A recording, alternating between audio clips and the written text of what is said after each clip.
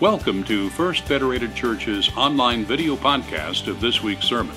First Federated Church is based out of Des Moines, Iowa. Please visit www.firstfederated.org for more information. No, oh, stop.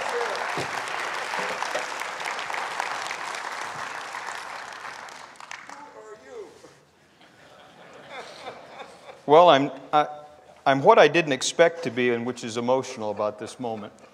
But you never know what you have till you lose it. And uh,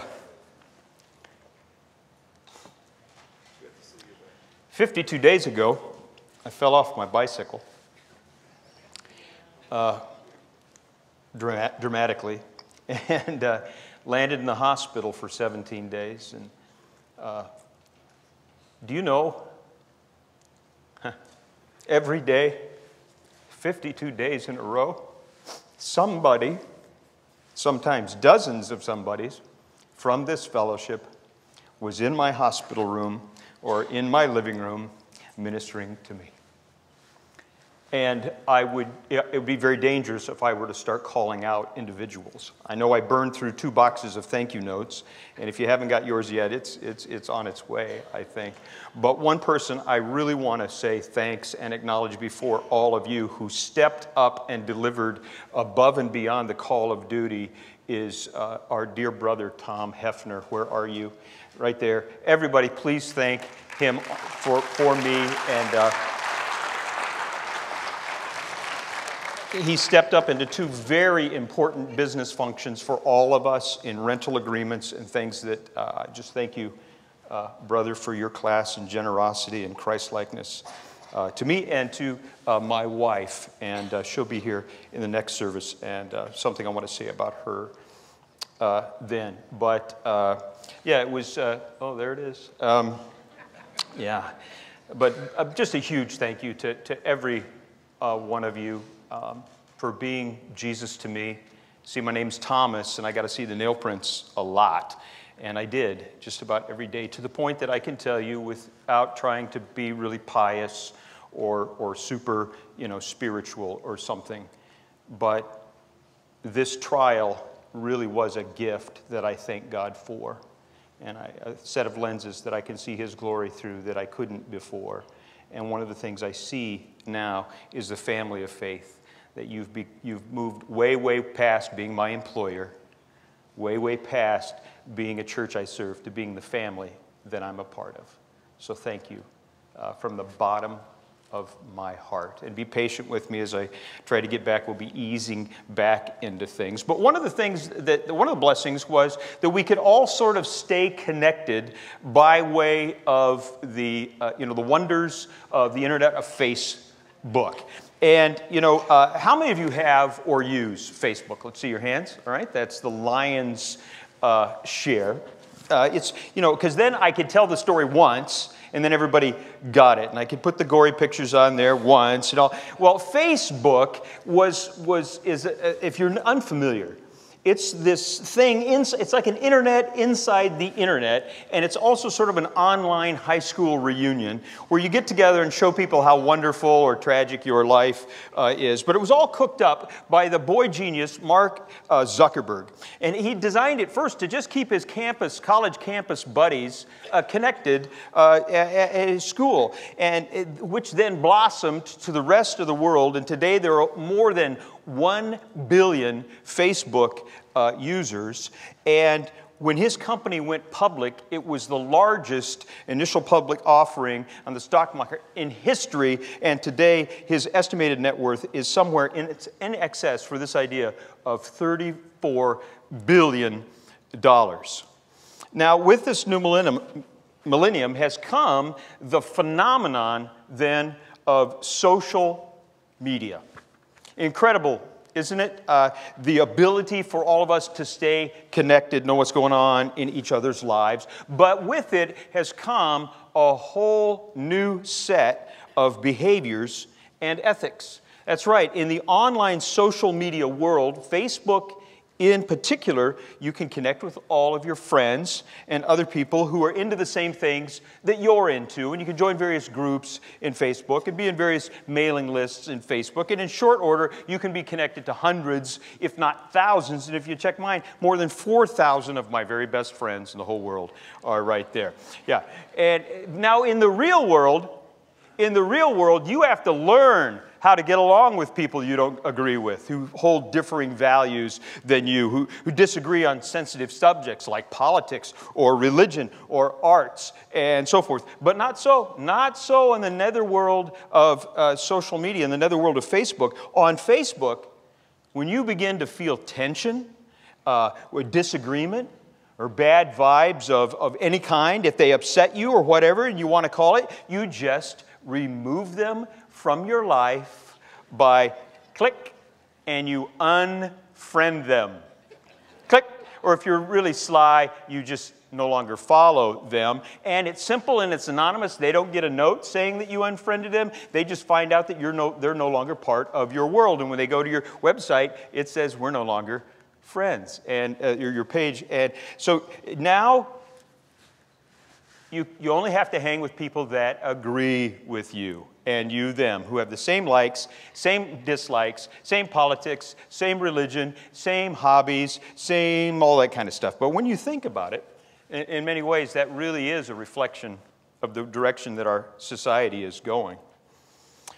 We are all this way to one degree or another. We are prone to only hang out with people with whom we do agree, only listen to the news, advice, counseling, and even doctor's orders, which agree with our preset ideas, and that's called confirmation bias, and every human being has it, so that we naturally dis- exclude people from our lives who are different from us or who hold different views. And it's so strong and it's so pervasive that we don't even need a reason to do so without thinking uh, uh, about it, and no relationship is immune from this unfriending. Even the most intimate of relationships, which our text is going to talk about this morning, of marriage, which has been all over the news in this last weekend. We'll get to that in, in, in just a moment.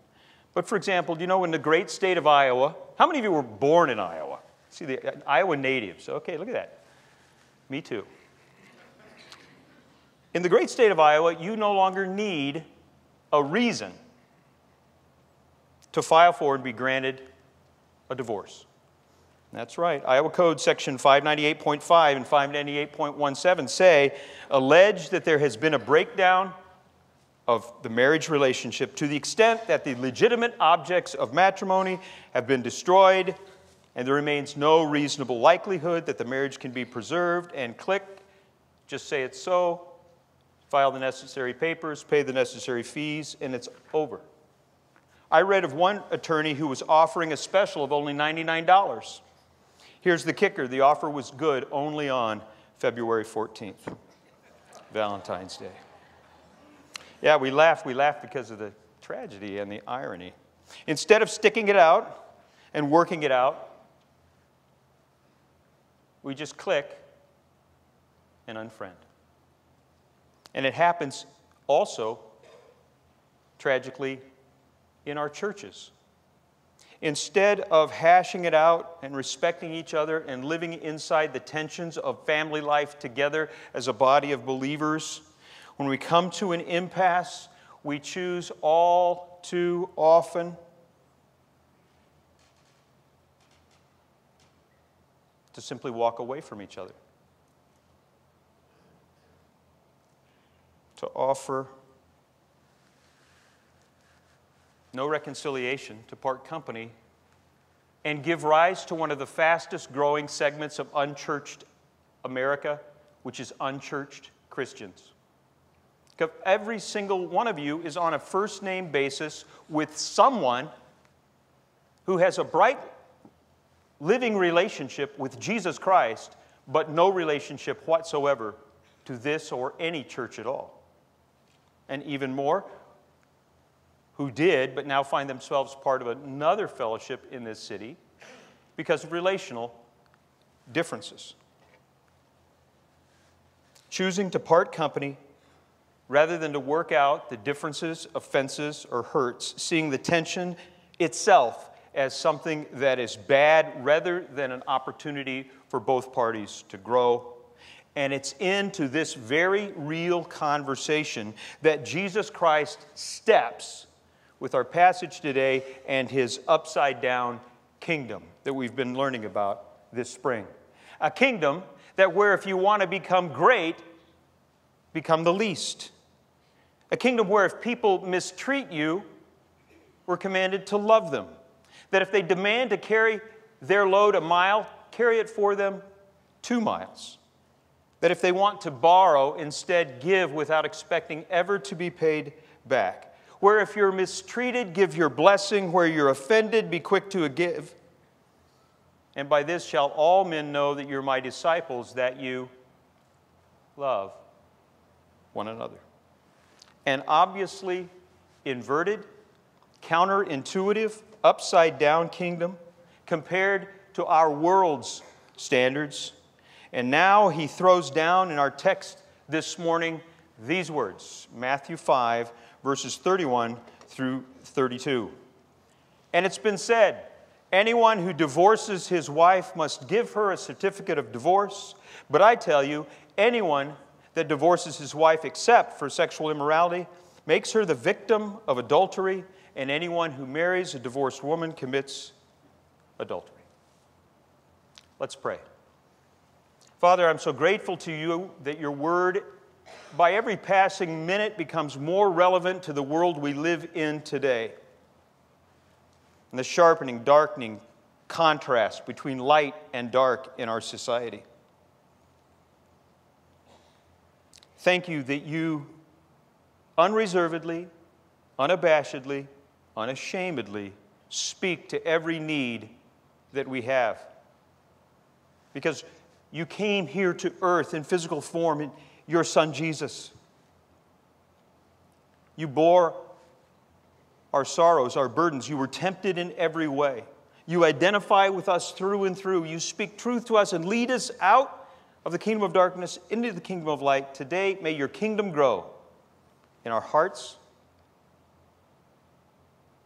in our families, our neighborhoods, this fellowship, and the world.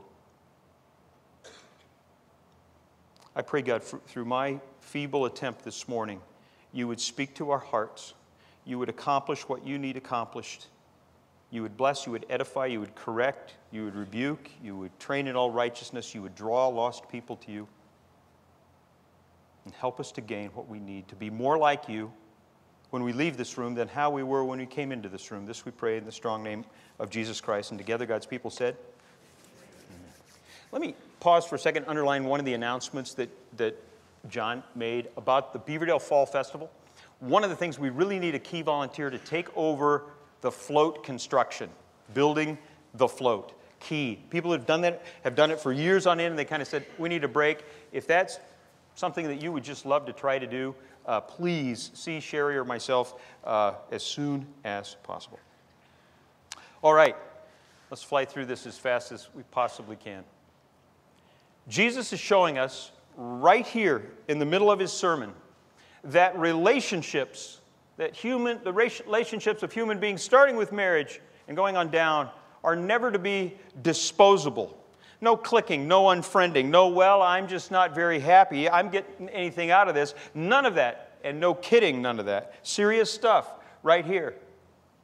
He's one upping the crowd, and in particular, the religious bigots in the crowd, the Pharisees and teachers of the law that were there in the initial group, standing there hearing the sermon. Because you see, in that day, there were two schools of thought when it came down to marriage and divorce.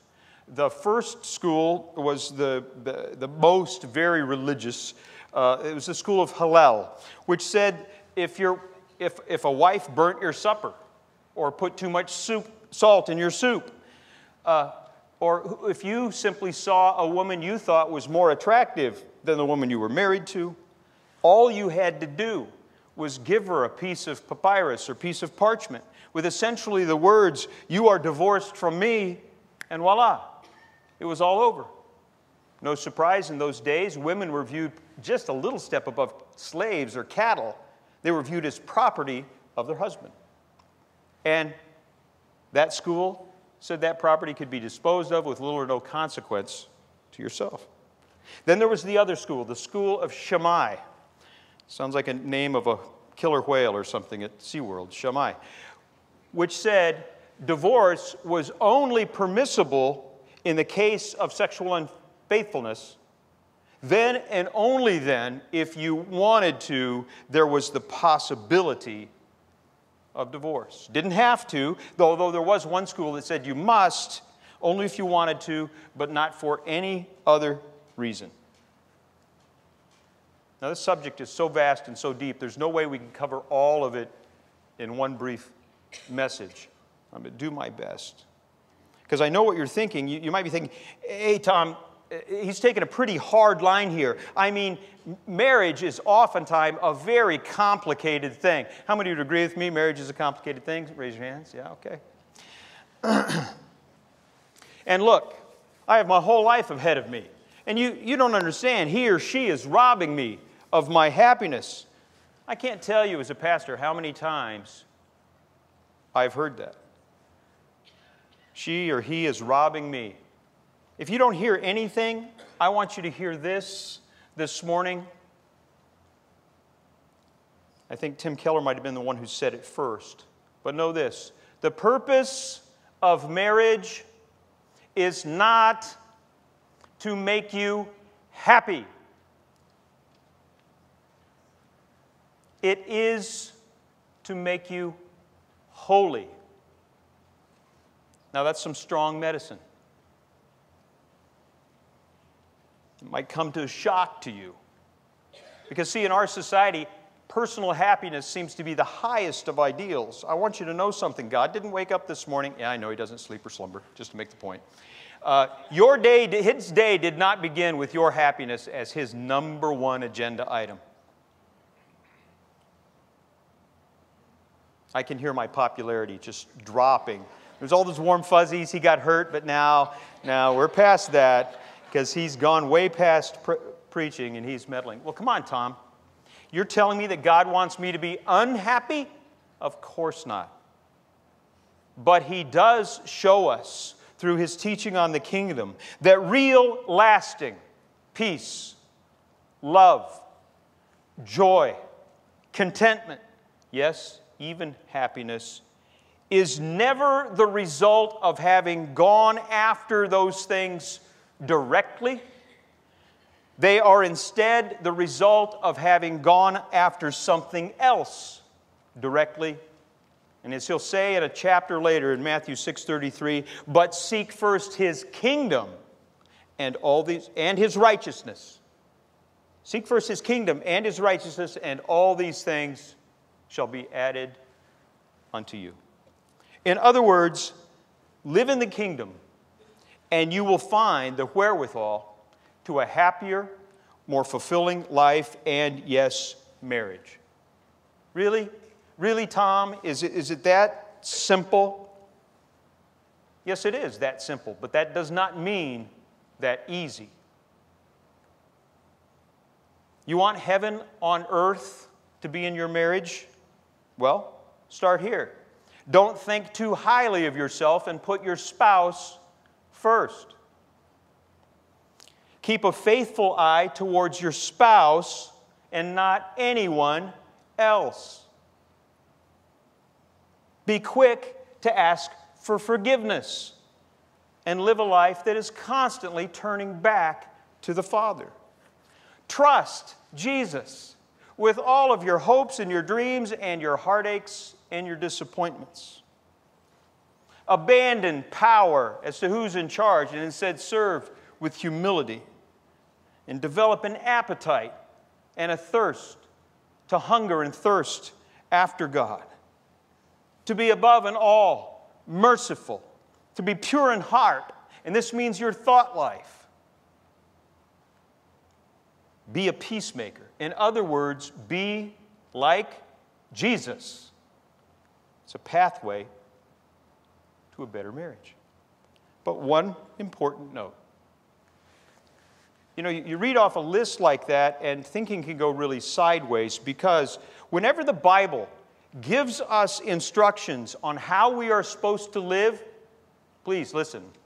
It is not so that living that way you might be saved.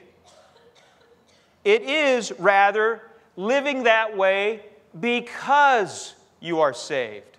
Do you see the enormous difference? Jesus' teaching of the kingdom does not become a new kind of law, it's the fulfillment of the law, and that's a very important difference that will put light on our motivation.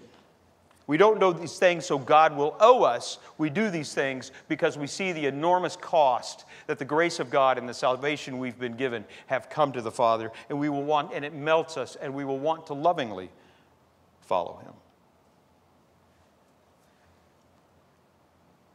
But then, why does He take such a hard line on this issue in our lives? Because, friends, marriage between a man and a woman, irrespective of the law of the land.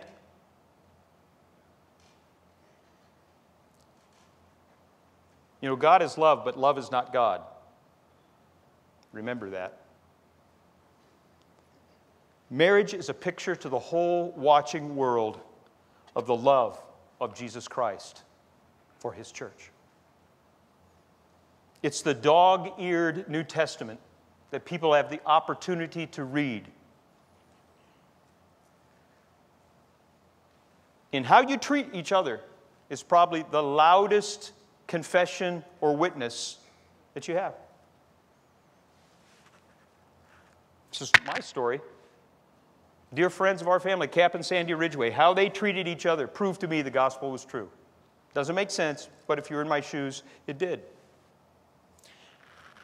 Because when we, who deserved to be given a certificate of divorce from God Almighty and to be thrown out of the kingdom, when we, despite all of our unfaithfulness, despite all of our selfishness, despite all of our wickedness, perverse ways, and wanting a divorce from Him, instead, God made Him who had no sin to be sin for us, that we might become the righteousness of God. When we deserved divorce, we got a honeymoon instead. When we jumped off the cliff, he hit the rocks below. Tom, you're oversimplifying it. It's not that simple. It's much more complicated. You have no idea, Tom, what she or he has done to me, said to me, done to my kids. You're right, I don't. It's a mess. It's complicated. But here's what's not complicated marriage is to be a permanent, lifetime, one time covenant before Almighty God to faithfully wed one man to one woman forever.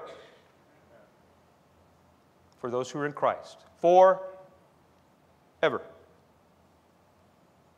And the key to that is trusting God with all of your complications, with all of your issues, with all of your sin, with all of the mess that it is, and accepting the fact that He accepts you despite all of the mess all of the complication. He then gives you and the entire watching world around you a picture of His love in your spouse who gives you the opportunity to accept another person just as thoroughly as He accepts you. Because, listen, the bottom line is that sadly, most divorces are due to the symptoms of a troubled relationship, not the actual problem. Because oftentimes the problem is thinking that another person is the source of your happiness or the source of your unhappiness. And whenever you make another person or another thing other than Almighty God your source, you are in big trouble. Your spouse, your kids, your boss, your job, your friends, your portfolio, your vacation house, your skills, your abilities, your talents. Look, the trouble is, none of them are as good as any of those things might be. They simply cannot bear the weight of the human soul, and therefore, in the end, are going to end up leaving you even more wanting, more hungry, more hurting, thirsty, frustrated, angry, blind, alienated, imprisoned, and alone. But all too often, we go into marriages believing this person will satisfy all of my wants, all of my dreams, my needs, my desire in life. But guess what? As amazing as he or she might be, they can't.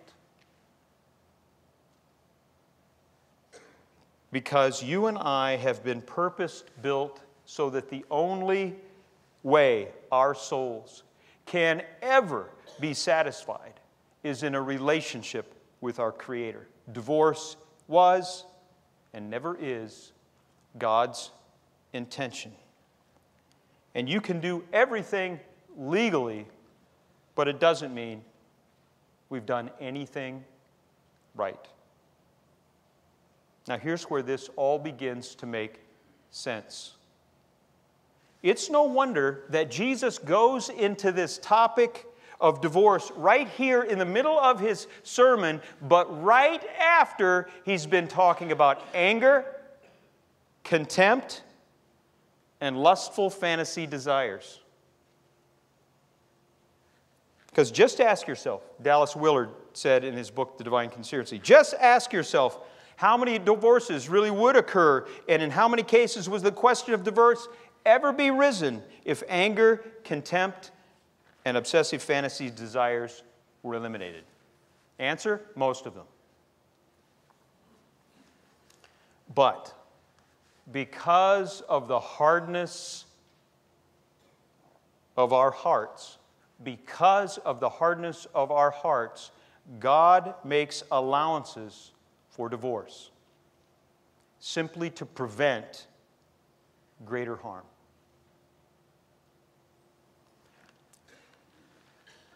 And that's what lies at the heart of divorce is the hardness of the heart. The heart is capable of such good and such unbelievable evil that the provision is literally there to save the other's life.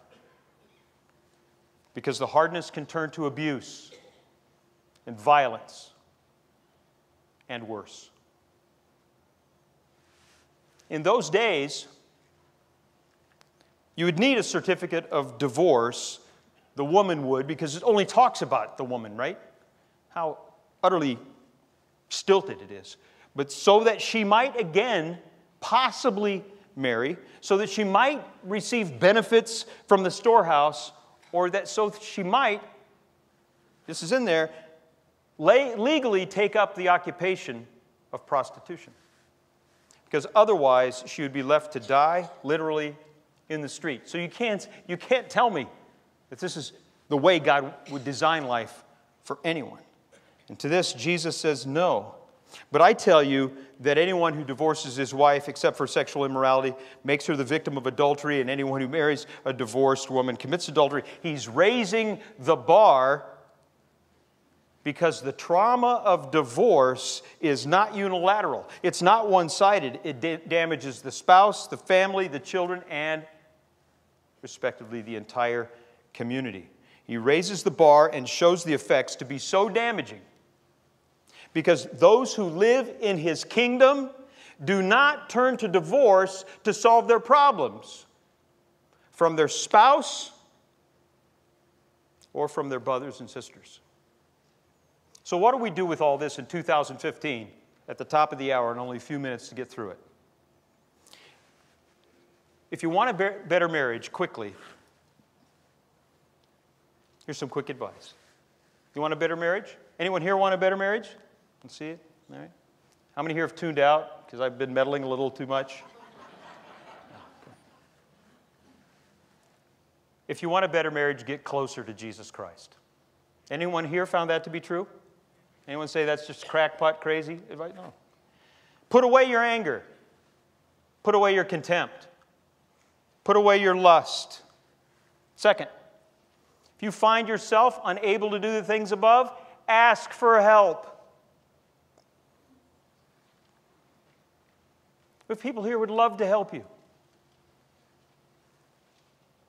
Number three, many people whose marriage is on the rocks usually, if any, have few other healthy relationships in their lives.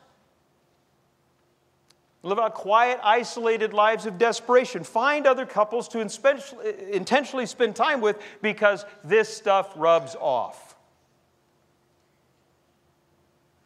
I learned to be a better married person by hanging around people who were mar- marriage is something I thought was better off than, than ours. And we didn't want a divorce, we just didn't have the tools to be married people. Anyone else in that bag? Yeah. Therefore, put away disposable relationships. This simply means refuse to walk away from your spouse, but also from your brothers and sisters in Christ, and lean into the differences and ask yourself quickly which of these problems do I have are, are based in anger, contempt, or out of control desire? Then simple. Repent. What does that mean? It means turn around, turn back to God and face Him with all of your junk and give it back to Him. Every message Jesus preaches begins with repent. The, king, the good news has come. Repent, the kingdom of heaven is at hand. It's not that hard. Ask for forgiveness. It's something in life you can't get without asking for with the Father and your spouse and your brothers and sisters. Not only ask for forgiveness, but be generous with your forgiveness and look to the cross because even in his agony alone on the cross, bearing all of our shame and sin, he pled with the Father. He begged the Father for the forgiveness of the perpetrators of this against him. And trust him that he'll sustain you, that he can heal your relationship, and that he can help you.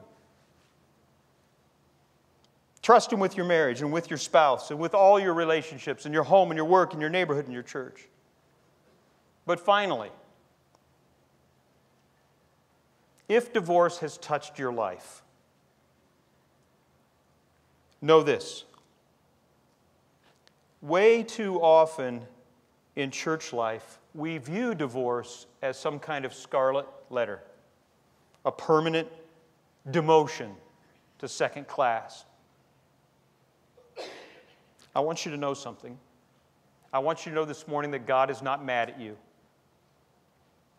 In fact, the God of the universe identifies with you. Hold on, we're wrapping this up. In Jeremiah chapter 3, verse 8, Jehovah Yahweh, the God of the universe, says, I, I gave faithless Israel her certificate of divorce and sent her away because of all her adulteries. Yet I saw that her unfaithful sister Judah had no fear. She also went out and committed adultery. Tom, what are you saying? What I'm saying is if I ask this room right now, and God Himself was seated in this room right now, who of you have been divorced, please stand to your feet. That Jehovah Yahweh, God of the universe, would stand to his feet and would self identify him as a divorcee. But the beautiful thing is the story didn't end there. The entire Bible is the unfolding of this great romance and troubled relationship between God and his people. How he bridged the gap and how he restored the relationship through humbling himself and coming into our world and living perfectly and dying and loving completely and opened the door of the way to his kingdom and then took upon himself on the cross all the fault, guilt, shame, torment, alienation, rejection, abuse, pain, horror, and cause of the broken relationship, our sin done by you and me, He took it on Himself. He took all of it to restore our divorced from God's selves into His indescribable love, grace, and mercy. And it gets even better. On the third day, he arose from the grave in power and glory to destroy the power of sin. He took the fault of the sin we've done, and now he comes to destroy the power of sin done against us. So that no longer do we have to be the victim of sin, but to overcome sin through his resurrection. That's how, by his stripes, we're healed. In other words, in the cross, God forgives all the son, all the sin done by you, and in the resurrection, he overturns all of the sin done to you. Because you might be here, divorced, and say, it, it just really wasn't my fault. He's taken care of that as well. So today, if divorce is in your past, let him use that pain and sorrow Allow Him to let it be a new set of lenses through which you could see God's glory. And if you're in the midst of a tormented situation today, and if divorce seems lurking on the horizon, reach out for help. We're here for you. Trust Him like Jesus trusted Him when He went to the cross. Know that nothing can ever separate you from the love of God which is in Christ. We're here. We can help. Grab me after the service. I'll be in the back. Uh, other pastors and leaders would love to help you. And if today you recognize that you have unfriended the Savior, if you click that unfollow button and you want His love, His restoration, His forgiveness, His kingdom, look to Him today. Look to Him with the simple truth of because of what Jesus did, Please accept me. And the divorce from God can be erased for eternity. And He'll accept you and receive you back into His family with open arms. Bow your heads with me.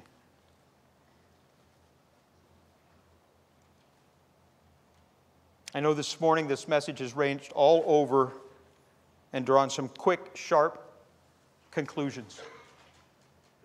But if in your heart of hearts you say, I'm one who's been divorced from the Father, I want to be restored to my Father, I, I, I want to trust Him with His gift of grace and receive His salvation today. If that's you, I'm not going to ask you to do anything but this real quick. If that's you, I want to pray with you. Just quickly slip your hand up. I want to pray with you.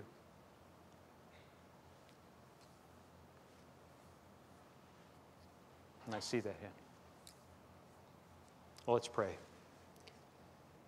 Father, how grateful we are today for your kingdom coming, your will being done of restoring all that's lost and broken and alienated and divorced from you back into your loving, caring, healing, restoring, forgiving arms. God, I pray for this one who raised their hand. I pray for the rest of us facing rocky relationships in our home with our brothers and sisters at work. Help us this week, oh God, in light of the dramatic changes public now in our society, made official by the Supreme Court. Let this be opportunities of redemptive conversations, not causes for further division. Help us to use this time to be your missionary people in a world that's quickly becoming more like the Bible days than in our yesterdays. Help us to trust you fully and completely with every hurt and harm. Thank you that you care for us.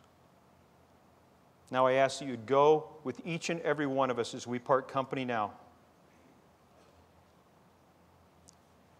with a firm knowledge of your love for us. This I pray in the strong name of Jesus Christ, your Son and our Savior. And together, God's people said, Amen. Go and God bless you. It's good to be.